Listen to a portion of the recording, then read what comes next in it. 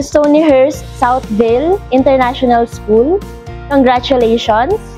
In behalf of the Department of Education, Learner Rights and Protection Office, this school is a safe and conducive learning environment for all of our learners.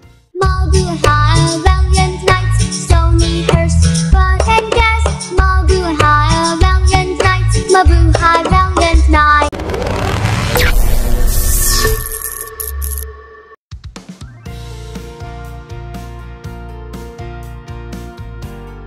Actually, we in DepEd Batangas City are very much delighted to learn that uh, Stonyhurst International School implementing the child protection policy that we have in our department with strict observance of policies and guidelines that we have to adhere. We are impressed with the documents and the answers given to us by your representatives in this regional monitoring. Members of the education sector are expected to uphold and show, as always, as educators, as members of the education community, child protection will always be close to our heart. To Stonyhurst Southville International School, congratulations.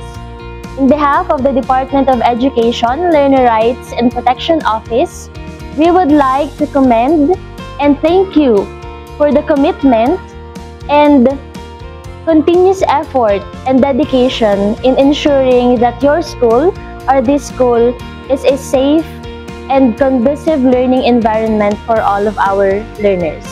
Thank you and mabuhay!